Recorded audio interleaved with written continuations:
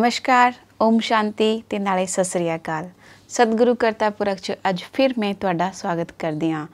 ਅਸੀਂ ਗੱਲ ਕੀਤੀ ਦਿਵਾਲੀ ਦੇ ਬਾਰੇ ਚ ਤੇ ਨਾਲੇ ਭਾਈ ਦੂਜ ਦੇ ਬਾਰੇ ਚ। ਉਹ ਹੋਏ ਸਾਡੇ ਤਿਉਹਾਰ। ਅੱਜ ਫਿਰ ਅਸੀਂ ਗੱਲ ਕਰਦੇ ਹਾਂ ਕੁਝ ਗਿਆਨ ਮਾਰਗ ਚ ਚੱਲਣੇ ਵਾਲੀ ਗੱਲਾਂ।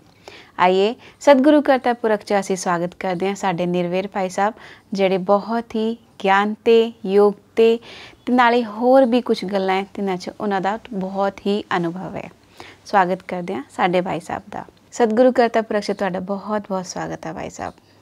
ਬਹੁਤ ਬਹੁਤ ਧੰਨਵਾਦ। ਸਤਿ ਸ੍ਰੀ ਅਕਾਲ, ਓਮ ਸ਼ਾਂਤੀ। ਔਰ ਫਿਰ ਫਿਰ ਫਿਰ ਮੈਂ ਕਹਾਂਗਾ ਕਿ ਸਭ ਭਾਈ ਭੈਣਾਂ ਨੂੰ ਦੀਵਾਲੀ ਦੀ ਮੁਬਾਰਕ। ਔਰ ਨਏ ਸਾਲ ਦੀ ਵੀ ਬੜੀ ਬੜੀ ਸ਼ੁਭ ਕਾਮਨਾ ਔਰ ਭਾਈ ਦੂਜ ਦੀ ਵੀ ਬਹੁਤ ਬਹੁਤ ਖੁਸ਼ੀਆਂ ਭਰੀ ਸ਼ੁਭ ਭਾਵਨਾ। ਹਾਂਜੀ। ਜੀ ਭਾਈ ਸਾਹਿਬ ਭਾਈ ਸਾਹਿਬ, ਤੁਸੀਂ ਪਿਛਲੇ ਕੁਝ ਐਪੀਸੋਡਸ ਸਾਨੂੰ ਪਵਿੱਤਰਤਾ ਦੇ ਬਾਰੇ ਚ ਗੱਲ ਕੀਤੀ ਥੀ। ਉਹਦੇ ਬਾਰੇ ਚ ਇੱਕ ਸਾਨੂੰ ਪ੍ਰਸ਼ਨ ਆਇਆ, ਇੱਕ ਭਾਈ ਹੈ ਉਹ ਹੈ ਹਰਿਆਣਾ ਤੇ। ਉਹ ਪੁੱਛਦੇ ਕਿ ਕੋਈ ਲੋਕੀ ਸਾਡੇ ਤੇ ਪੁੱਛਦੇ ਤੁਸੀਂ ਗਿਆਨ ਚ ਚੱਲਦੇ ਤਾਂ ਤੁਸੀਂ ਪਾਵਨ ਹੋ ਜਾਂ ਪਤਿਤ ਹੋ ਤਾਂ ਸਾਨੂੰ ਕੀ ਜਵਾਬ ਦੇਣਾ ਚਾਹੀਦਾ? ਜੇ ਤੁਸੀਂ ਧਾਰਨਾ ਚ ਚੱਲ ਰਹੇ ਹੋ ਜੀ। ਜਿਹਨੂੰ ਕਿਹਾ ਜਾਂਦਾ ਵੀ ਅਸੀਂ ਆਪਣੀ ਜੀਵਨ ਚ ਪਵਿੱਤਰਤਾ ਨੂੰ ਧਾਰਨ ਕੀਤਾ ਹੈ ਖਾਨ ਪਾਨ ਰਹਿਣ ਸਹਿਣ ਹਰ ਤਰ੍ਹਾਂ ਆਪਣੇ ਮਨ ਕਰਮ ਚ। ਹੂੰ। ਤੇ ਫਿਰ ਤੇ ਤੁਸੀਂ ਬੜੇ ਫਖਰ ਨਾਲ ਕਹੋ ਨਾ ਹਾਂ ਬਈ ਕਿਉਂ ਨਹੀਂ? ਬਾਬਾ ਦੀ ਸ਼੍ਰੀਮਤ ਕਿ ਤੁਸੀਂ ਇਸ ਜਨਮ ਚ ਅਗਰ ਪਵਿੱਤਰ ਰਹਿਣਗੇ ਤੇ 21 ਜਨਮ ਵਾਸਤੇ ਮਨੁੱਖ ਤੋਂ ਦੇਵਤਾ ਬਣ ਜਾਣਗੇ ਉਹ। ਤੇ ਅਸੀਂ ਕਿਉਂ ਨਹੀਂ ਰਾਂਗੇ ਪਵਿੱਤਰ? ਹੂੰ। ਜੀ। ਜੀ ਭਾਈ ਸਾਹਿਬ।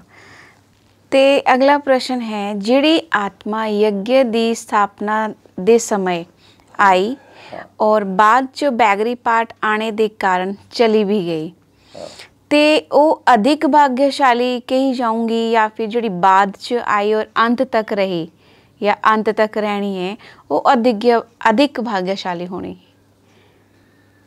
ਇਹ ਡਿਪੈਂਡ ਕਰਦਾ ਹੈ। ਅਗਰ ਉਹ ਬੈਗਰੀ ਪਾਰਟ ਦੇ ਟਾਈਮ ਤੇ ਬਾਹਰ ਚਲੇ ਗਏ। ਅਗਰ ਇਹ ਲਕਸ਼ ਲੈ ਕੇ ਗਏ ਕਿ ਅਸੀਂ ਜਾ ਕਰਕੇ ਔਰ ਕਮਾਈ ਕਰਕੇ ਔਰ ਬੇਹਦ ਬਾਬਾ ਦੇ ਯੱਗ ਦੀ ਸੇਵਾ ਕਰਾਂਗੇ ਆਪਣੇ ਧਨ ਦੇ ਨਾਲ। ਹੂੰ। ਔਰ ਫਿਰ ਉਧਰ ਜਿੱਥੇ ਵੀ ਜਾਂਦੇ ਆ ਉਧਰ ਵੀ ਸੇਵਾ ਕਰਦੇ ਰਹਿੰਦੇ ਆ। ਤੇ ਉਹਨਾਂ ਦਾ ਭਾਗਯ ਤੇ ਹੈ ਹੀ ਹੈ ਨਾ ਫਿਰ। ਹੂੰ। ਔਰ ਜਿਹੜੇ ਇਸ ਸਮੇਂ ਹੈ?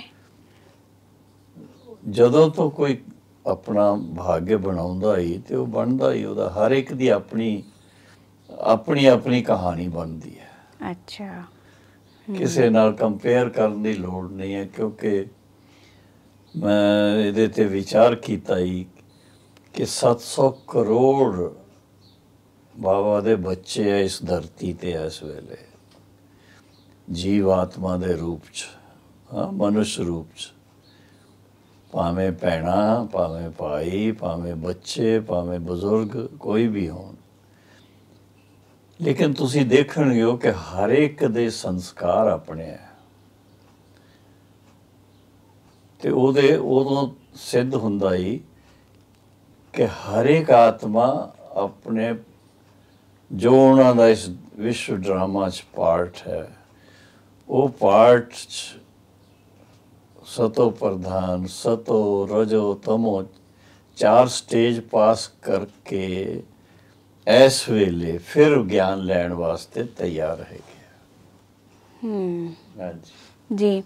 ਤੇ ਇਸ ਸਮੇਂ ਯੱਗ ਦੇ ਵਰਤਮਾਨ ਜਿਹੜੀ ਸਥਿਤੀ ਹੈ ਉਸ ਤੋਂ ਕਿਆ ਸ਼੍ਰੀਮਤ ਹੋਣੀ ਚਾਹੀਦੀ? ਉਹਦਾ ਨਿਰਣੇ ਔਰ ਪਾਲਣਾ ਅਸੀਂ ਕਿੱਦਾਂ ਕਰੀਏ? ਮਤਲਬ ਕਿਆ ਹੋ ਸਕਦਾ? ਦੇਖੋ, ਈਸ਼ਵਰੀ ਗਿਆਨ ਦੇ ਅਨੁਸਾਰ ਔਰ ਬਾਬਾ ਦੇ ਇਸ਼ਾਰੇ ਦੇ ਅਨੁਸਾਰ ਇਹ ਅਵਿਨਾਸ਼ੀ ਰੁਦਰ ਗੀਤਾ ਗਿਆਨ ਯੱਗ ਹੈ। ਅਵਿਨਾਸ਼ੀ। ਔਰ ਵਿਸ਼ਵ ਪਰਿਵਰਤਨ ਦੇ ਵਾਸਤੇ ਇਹ ਯੱਗ ਰਚਿਆ ਹੋਇਆ ਹੈ ਔਰ ਰਚਿਆ ਕਿਸਨੇ ਹੈ परम पिता परमात्मा शिव ने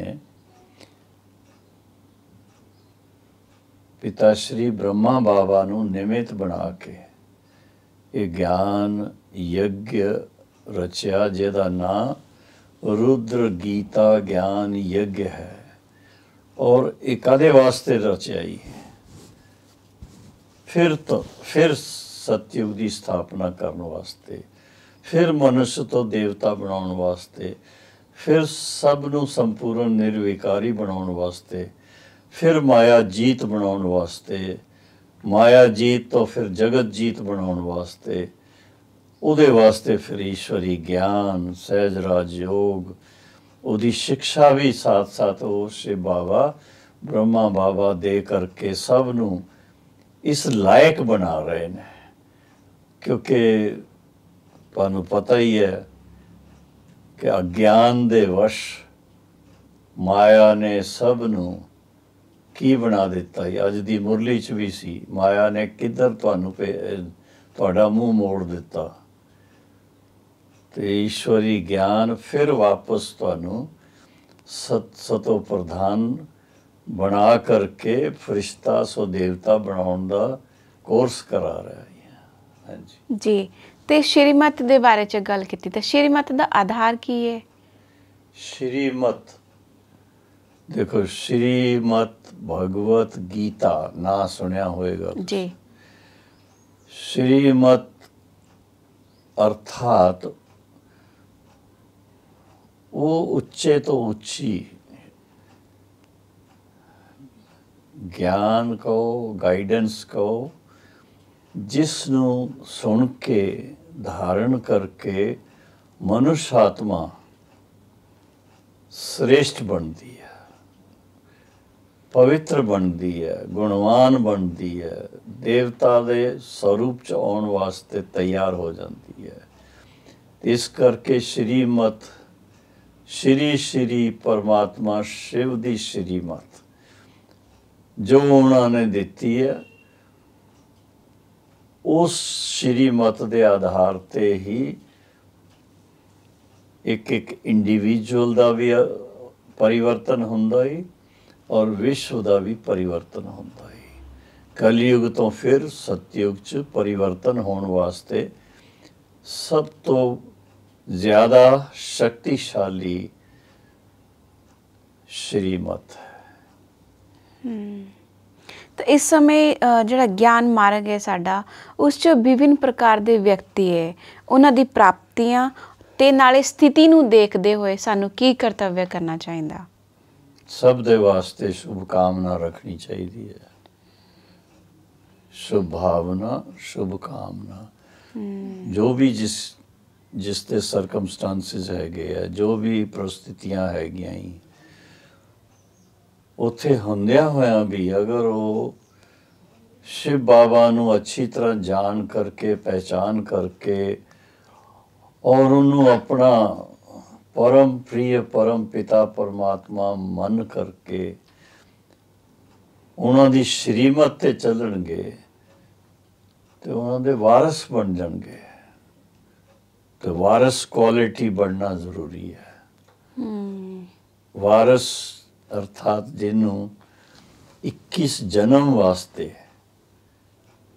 ਸਤਯੁਗ ਤ੍ਰੇਤਾ ਦਾ ਜਿਹੜਾ ਟਾਈਮ ਹੈ 21 ਜਨਮ ਵਾਸਤੇ ਮਨੁੱਖ ਤੋਂ ਦੇਵਤਾ ਬਣਨ ਦੀ ਲੋਟਰੀ ਮਿਲ ਜਾਂਦੀ ਹੈ ਜੀ ਤੇ ਬਾਬਾ ਨੇ ਕੁਝ ਦੋ ਤਿੰਨ ਮੁਰਲੀ ਚ ਦੋ ਤਿੰਨ ਪਹਿਲੇ ਮੁਰਲੀ ਚ ਬੋਲਿਆ ਤਾਂ ਨਿਸ਼ਚੈ ਬੁੱਧੀ ਵਿਜੰਤੀ ਤੇ ਕਿਹੜੀ ਕਿਹੜੀ ਗੱਲਾਂ 'ਚ ਨਿਸ਼ਚੈ ਹੋਣਾ ਚਾਹੀਦਾ ਜਿਸ ਤੇ ਆਤਮਾ ਦਾ ਜੀਵਨ ਸਦਾ ਵਿਜੇ ਦੀ ਅਨੁਭੂਤੀ ਪ੍ਰਾਪਤ ਕਰੇ? ਨਿਸ਼ਚੈ ਬੁੱਧੀ ਵਿਜਯੰਤੇ। ਨਿਸ਼ਚੈ ਕਿਸ ਗੱਲ ਦਾ ਨਿਸ਼ਚੈ? ਸਭ ਤੋਂ ਪਹਿਲਾ ਤੇ ਇਹ ਹੈ ਕਿ ਜਿਹੜਾ ਪਹਿਲਾ ਲੈਸਨ ਆਪਣੇ ਬਾਰੇ ਚ ਮਿਲਦਾ ਹੀ ਕਿ ਤੁਸੀਂ ਇਹ ਦੇਹ ਨਹੀਂ ਹੋ, ਦੇਹ ਧਾਰਨ ਕਰਨ ਵਾਲੇ, ਦੇਹ ਦੇ ਦੁਆਰਾ ਗੱਲਬਾਤ ਕਰਨ ਵਾਲੇ ਤੁਸੀਂ ਜੀਵ ਆਤਮਾ ਹੈਗੇ ਹੋ। ਤੇ ਆਪਣੇ ਆਪ ਨੂੰ ਨਿਸ਼ਚੈ ਕਰਨਾ ਕਿ ਮੈਂ ਜੋਤੀ ਸਰੂਪ ਆਤਮਾ ਹਾਂ ਔਰ ਬ੍ਰਿਕੁਟੀ ਚ ਨਿਵਾਸ ਕਰਦੇ ਹਾਂ। ਔਰ ਇਸ ਸਰੀਰ ਦੇ ਜਿਹੜੇ ਪੰਜ ਇੰਦਰੀਆਂ ਹਨ, ਇਹਨਾਂ ਦੇ ਜ਼ਰੀਏ ਕਰਮ ਕਰ ਰਹੇ ਹਾਂ ਔਰ ਕਰਮਾਂ 'ਚ ਵੀ ਅਸੀਂ ਫਿਰ ਸ਼੍ਰੀਮਤ, ਸ਼ਿਵ ਬਾਬਾ ਦੀ ਜਿਹੜੀ ਸ਼੍ਰੀਮਤ ਹੈ ਕਿ ਮੇਰੀ ਯਾਦ 'ਚ ਰਹਿ ਕਰਕੇ ਤੁਸੀਂ ਕਰਮ ਕਰੋ ਤੇ ਤੁਹਾਡੇ ਕਰਮ ਜਿਹੜੇ ਆ ਉਹ ਸ੍ਰੇਸ਼ਟ ਬਣਨਗੇ। ਮੁੱਖ ਤੇ ਇਹ ਸ਼੍ਰੀਮਤ ਹੈ। ਬਾਕੀ ਤੇ ਹਰ ਕਦਮ ਤੇ ਸ਼੍ਰੀਮਤ ਹੈ।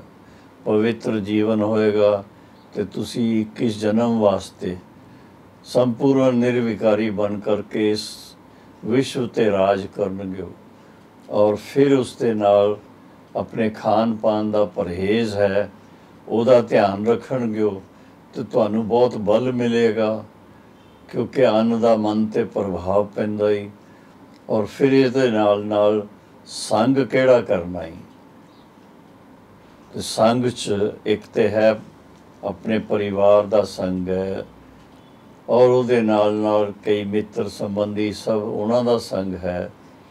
ਇਸ ਤੋਂ ਇਲਾਵਾ ਤੁਹਾਡੀ ਜਿਹੜੀ ਪੜ੍ਹਾਈ ਹੈ, ਤੁਸੀਂ ਕੀ ਪੜ੍ਹਦੇ ਹੋ? ਕੋਈ ਕਈ ਬੱਚਿਆਂ ਨੂੰ ਆਦਤ ਪੈ ਜਾਂਦੀ ਹੈ, ਉਹ ਨਾਵਲਸ ਪੜ੍ਹਨਾ ਪੈਂਦੇ ਆ। ਤੇ ਅਗਰ ਨਾਵਲਸ ਪੜ੍ਹਦੇ ਆ ਔਰ ਫਿਲਮਾਂ ਦੇਖਦੇ ਆ, ਤੇ ਫਿਰ ਉਹਦਾ ਅਸਰ ਦਿਮਾਗ ਤੇ ਹੁੰਦਾ ਹੀ ਤੇ ਇਸ ਕਰਕੇ ਉਹ ਪਰਹੇਜ਼ ਚਾਹੀਦੀ ਹੈ ਉਹਦੀ ਬਹੁਤ। ਬਾਬਾ ਨੇ ਬੜੇ ਪਿਆਰ ਨਾਲ ਕਿਹਾ ਹੀ ਕਿ ਸਿਨੇਮਾ ਸਿਨ ਦੀ ਮਾਂ। ਤੁਸੀਂ ਸਮਝ ਜਾਣਗੇ ਇਸ ਕਰਕੇ ਉਹਦਾ ਬੜਾ ਧਿਆਨ ਰੱਖੀਦਾ ਹੀ ਇਸ ਤੋਂ ਇਲਾਵਾ ਇਹੋ ਜਿਹਾ ਸੰਗ ਕਰਨਾ ਜਿਹੜੇ ਤੁਹਾਨੂੰ ਹੈਲਪਫੁਲ ਹੋਣ। ਤੁਹਾਡੇ ਜੀਵਨ ਨੂੰ ਸ੍ਰੇਸ਼ਟ ਬਣਾਉਣ ਵਾਸਤੇ, ਦਿਵਯ ਬਣਾਉਣ ਵਾਸਤੇ, ਪਵਿੱਤਰ ਬਣਾਉਣ ਵਾਸਤੇ। ਤੁਹਾਨੂੰ ਕਿਤੇ ਉਲਟੇ ਰਸਤੇ ਲੈ ਜਾਣ ਵਾਲਾ ਨਾ ਕੋਈ ਹੋਏ। ਦੋਸਤ ਕਈ ਬਣਦੇ ਆ, ਫਿਰ ਤੁਹਾਨੂੰ ਹੋ ਸਕਦਾ ਹੀ ਕੋਈ ਗਲਤ ਧਾਰਨਾ ਵੀ ਕਰਾਉਣ ਲੱਗ ਪੈਣ। ਕੋਈ ਖਾਣ ਪਾਣ ਚ ਪਰਹੇਜ਼ ਰੱਖਣ ਦੀ ਬਜਾਏ ਉਹ ਕਹਿਣ, ਕੋਈ ਗੱਲ ਨਹੀਂ, ਇੱਕ ਦਿਨ ਤੇ ਤੁਸੀਂ ਆ ਲੈ ਸਕਦੇ ਹੋ ਨਾ ਕੁਝ ਨਹੀਂ ਹੋਏਗਾ। ਇਹ ਨਹੀਂ, ਇਹੋ ਜਿਹਾ ਸੰਗ ਨਹੀਂ ਚਾਹੀਦਾ। ਨਾ ਸ਼ਰਾਬ, ਨਾ ਸਿਗਰਟ, ਨਾ ਬੀੜੀ, ਨਾ ਕੋਈ ਤਮਾਕੂ, ਨਾ ਕੋਈ ਡਰੱਗਸ ਦੀ ਗੱਲ ਕੁਝ ਨਹੀਂ ਚਾਹੀਦਾ। ਕਿਉਂਕਿ ਇਹ ਦੇਵੀ ਦੇਵਤਾ ਬਣਨਾ ਹੀ ਤੇ ਦੇਵੀ ਦੇਵਤਿਆਂ ਦੇ ਖਾਣ ਪਾਣ ਚ ਸਭ ਸਤੋਗੁਣੀ ਚੀਜ਼ਾਂ ਹੁੰਦੀਆਂ ਸਾਤਵਿਕ ਭੋਜਨ ਹੁੰਦਾ ਹੀ। ਇਸ ਕਰਕੇ ਉਹਦਾ ਬੜਾ ਧਿਆਨ ਰੱਖਣਾ ਪੈਂਦਾ ਹੀ। ਹਮ ਤੁਸੀਂ ਇਸ- ਟਾਈਮ ਦੋ ਤਿੰਨ ਗੱਲਾਂ ਬੋਲੀ ਸ਼ਰਾਬ ਬੀੜੀ ਸਿਗਰਟ ਤੇ ਜਿਹੜੇ ਲੋਕੀ ਇਹਨਾਂ ਦਾ ਪਾਨ ਕਰਦੇ ਉਹਨਾਂ ਵਾਸਤੇ ਤੁਸੀਂ ਕੀ ਸੰਦੇਸ਼ ਦੇਣਾ ਚਾਹੁੰਦੇ? ਹੋ ਉਹਨਾਂ ਦੇ ਵਾਸਤੇ ਤੇ ਬੜਾ ਸਿੱਧਾ ਸੰਦੇਸ਼ ਹੈ। ਕਿ ਇਹ ਦੇਵੀ ਦੇਵਤਾ ਬਣਨਾ ਹੀ ਅਗਰ ਤੁਸੀਂ ਮਨੁੱਖ ਤੋਂ ਦੇਵਤਾ ਬਣਨਾ ਹੈ, ਤੇ ਇਹ ਦੇਵਤਿਆਂ ਦਾ ਖਾਣ ਪਾਣ ਨਹੀਂ ਹੈਗਾ ਹੀ ਉਹਨਾਂ ਦਾ ਤਿਆਗ ਚਾਹੀਦਾ ਹੀ ਉਹਦੇ ਵਾਸਤੇ ਸ਼ਿਵ ਬਾਬਾ ਨੂੰ ਪੱਤਰ ਲਿਖ ਕਰਕੇ ਵਾਅਦਾ ਕਰਨਾ ਹੋ ਕਿ ਮੈਂ ਅੱਜ ਤੋਂ ਮੇਰੇ ਅੰਦਰ ਇਹ ਖਾਣ ਪੀਣ ਦੀ ਚੀਜ਼ਾਂ ਜਿਹੜੀਆਂ ਹੀ ਐਬ ਹੈਗੇ ਆ ਇਹ ਮੈਂ ਤੁਹਾਨੂੰ ਦਾਨ ਚ ਦੇ ਦਿੰਦਾ। ਤੇ ਜਦੋਂ ਤੁਸੀਂ ਇਹੋ ਜੀ ਕੋਈ ਗੱਲ ਹੋਏਗੀ ਦਾਨ ਚ ਦੇ ਦੇਣਗੇ ਉਹ ਤੇ ਫਿਰ ਤੁਹਾਨੂੰ ਉਹ ਤੰਗ ਨਹੀਂ ਕਰੇਗੀ। ਦਾਨ ਦਿੱਤੀ ਹੋਈ ਚੀਜ਼ ਵਾਪਸ ਨਹੀਂ ਲਈ ਜਾਂਦੀ ਫਿਰ। ਇਹ ਥੋੜਾ ਪਹਿਲੇ ਆਪਣੇ ਆਪ ਨੂੰ ਪੱਕਾ ਕਰਨਾ ਹੀ ਦ੍ਰਿੜ ਸੰਕਲਪ ਕਰਕੇ ਫਿਰ ਦਾਨ ਕਰਨਾ ਹੀ। ਹਾਂਜੀ। ਇਹ ਨਿਸ਼ਚੈ ਬੁੱਧੀ ਵਿਜਯੰਤੀ ਦੇ ਤੁਹਾਡੇ ਤੁਸੀਂ ਇਹ ਦੱਸਿਆ ਪਰ ਨਿਸ਼ਚੈ ਬੁੱਧੀ ਵਿਜਯੰਤੀ ਜਿਹੜੀ ਆਤਮਾ ਹੈ ਉਹਨਾਂ ਦੀ ਨਿਸ਼ਾਨੀ ਕੀ ਹੋਣੀ? ਨਿਸ਼ਚੈ ਬੁੱਧੀ ਵਿਜਯੰਤੀ ਜੋ ਮਤਲਬ ਇਹ ਹੈ ਕਿ ਹਰ ਕਦਮ ਤੇ ਵਿਜੇ ਵਿਜੇ। ਹਾਰ ਨਹੀਂ ਖਾਣਗੇ। ਹੂੰ। ਮਾਇਆ ਤੋਂ ਹਾਰ ਨਹੀਂ ਖਾਣਗੇ। ਔਰ ਉਹਦੇ ਨਾਲ ਨਾਲ ਜਿਸ ਤਰ੍ਹਾਂ ਹੁਣ ਪਰਹੇਜ਼ ਦੀਆਂ ਗੱਲਾਂ ਹੈਗੀਆਂ ਉਹ ਪਰਹੇਜ਼ ਰੱਖਣ 'ਚ ਵੀ ਕਾਮਯਾਬ ਰਹਿਣਗੇ। ਔਰ ਇਸੇ ਤਰ੍ਹਾਂ ਹੀ ਆਪਣੀ ਜਿਹੜੀ ਈਸ਼ਵਰੀ ਪੜ੍ਹਾਈ ਹੈ ਔਰ ਮੈਡੀਟੇਸ਼ਨ ਹੈ ਉਹਦੇ ਬਲ ਨਾਲ ਆਪਣੇ ਅੰਦਰ ਚੇਂਜ ਲਿਆਉਣਗੇ ਸੰਸਕਾਰਾਂ ਦੀ ਚੇਂਜ ਲਿਆਉਣਗੇ ਤੇ ਨਿਸ਼ਚੈ ਬੁੱਧੀ ਵਿਜਨ ਤੇ ਮਾਨਾ ਕਈ ਵਾਰ ਕਈ ਭਾਈ ਭੈਣ ਇਹ ਮਨ ਚ ਬੜਾ ਨਿਸ਼ਚੈ ਕਰਦੇ ਆ ਹੁਣ ਅਸੀਂ ਇਹ ਕੰਮ ਨਹੀਂ ਕਰਨਾ ਕਿਸੇ ਨੂੰ ਗਾਲੀ ਨਹੀਂ ਦੇਣੀ ਕਿਸੇ ਦਾ ਬੁਰਾ ਨਹੀਂ ਸੋਚਣਾ ਇਹ ਸਭ ਗੱਲਾਂ ਸੋਚਦੇ ਆ ਫਿਰ ਉਹੋ ਜੀਆਂ ਗੱਲਾਂ ਹੋ ਜਾਂਦੀਆਂ ਹੂੰ। ਤੇ ਜਦੋਂ ਨਿਸ਼ਚੈ ਬੁੱਧੀ ਵਿਜਨ ਤੇ ਬਣਨਾ ਹੈ ਤੇ ਪਹਿਲੇ ਦ੍ਰਿੜ ਨਿਸ਼ਚੈ ਚਾਹੀਦਾ। ਹਰ ਗੱਲਾਂ 'ਚ। ਬਾਬਾ ਨੂੰ ਪੱਤਰ ਲਿਖ ਕੇ ਦੇਣਾ ਚਾਹੀਦਾ ਹੈ ਕਿ ਅੱਜ ਤੋਂ ਮੈਂ ਇਹ ਬਾਬਾ ਤੁਹਾਨੂੰ ਵਾਅਦਾ ਕਰਦਾ ਹਾਂ ਜਿਗਰੀ ਵਾਅਦਾ ਕਿ ਅੱਜ ਤੋਂ ਮੈਂ ਕਦੀ ਮਨ ਚ ਵੀ ਨਹੀਂ ਤੇ ਬਾਣੀ ਚ ਵੀ ਨਹੀਂ ਤੇ ਕਰਮ ਚ ਵੀ ਇਹਨਾਂ ਗੱਲਾਂ ਨੂੰ ਕਦੀ ਨਹੀਂ ਆਪਣੇ ਜੀਵਨ ਚ ਲਿਆਵਾਂਗਾ। ਇਸ ਤਰ੍ਹਾਂ ਜਦੋਂ ਆਪਣਾ ਇੱਕ ਕੋਈ ਕੋਈ ਤੇ ਵਾਅਦਾ ਵਾਅਦਾ ਕਰਨਾ ਪਏਗਾ ਨਾ ਐਵੇਂ ਹੀ ਤੁਸੀਂ ਕਹੋ ਵੀ ਬਸ ਘਰ ਬੈਠੇ ਮੌਜਾਂ 'ਚ ਐਵੇਂ ਹੀ ਸਭ ਕੁਝ ਖਾਂਦੇ ਪੀਂਦੇ ਵੀ ਰਹੋ।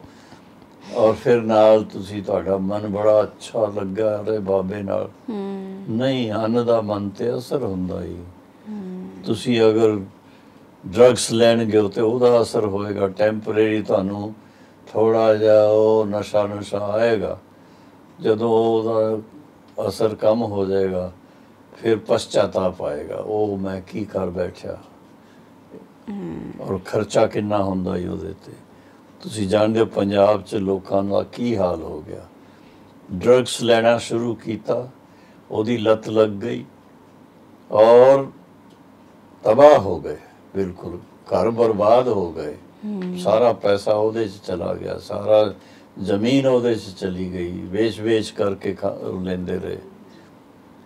ਤੇ ਇਸ ਕਰਕੇ ਬਹੁਤ ਈਸ਼ਵਰੀ ਗਿਆਨ ਔਰ ਸਹਿਜ ਰਾਜ ਯੋਗ ਦੀ ਜਿਹੜੀ ਸ਼ਕਤੀ ਹੈ ਉਹ ਮਨ ਨੂੰ ਮਨੋਬਲ ਵਧਾਉਂਦੀ ਹੈ ਔਰ ਉਸ ਮਨੋਬਲ ਦੇ ਜ਼ਰੀਏ ਹੀ ਤੁਸੀਂ ਪੰਜ ਵਿਕਾਰਾਂ ਤੇ ਵੀ ਵਿਜੇ ਪਾਉਂਦੇ ਹੋ ਔਰ ਇਹ ਜਿਹੜੀ ਬੁਰੀ ਆਦਤਾਂ ਹੁੰਦੀਆਂ।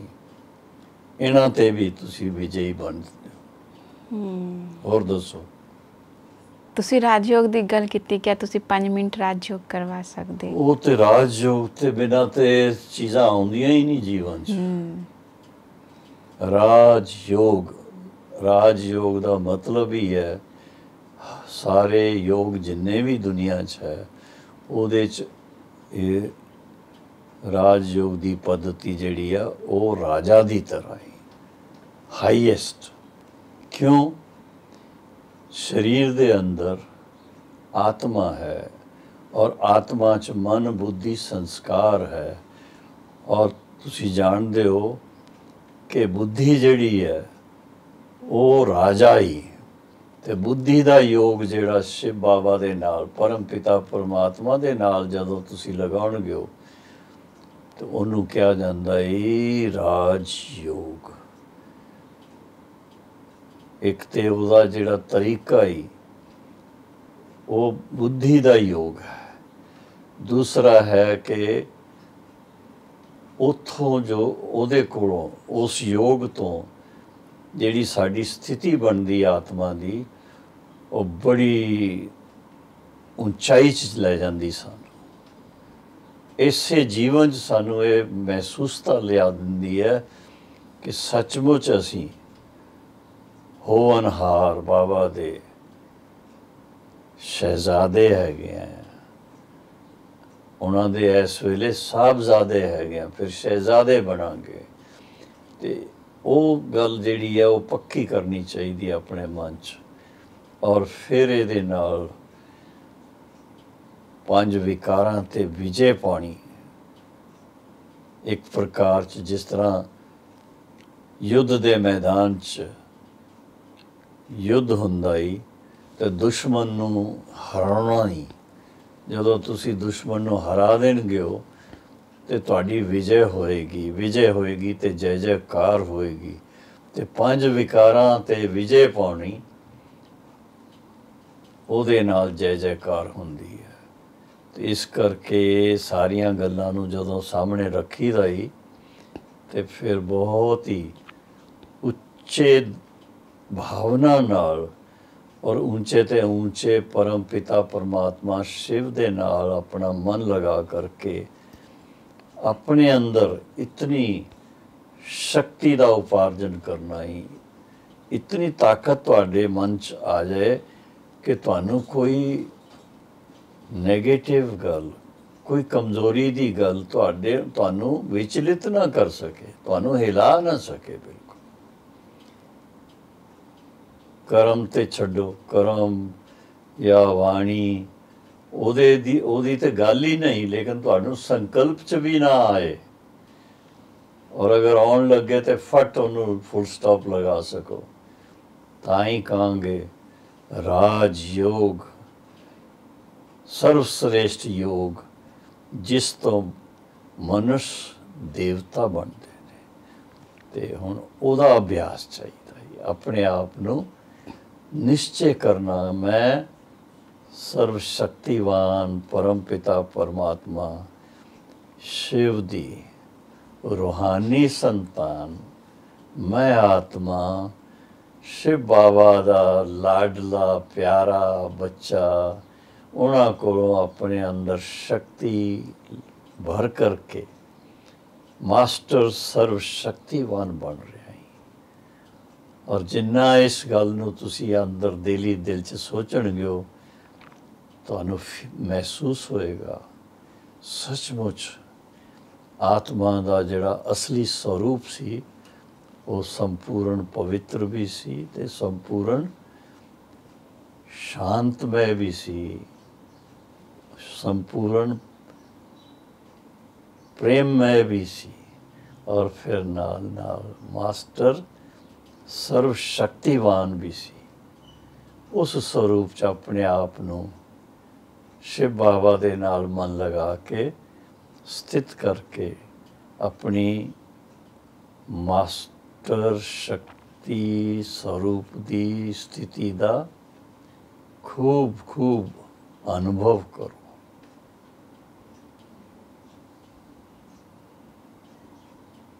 ਓਮ ਸ਼ਾਂਤੀ।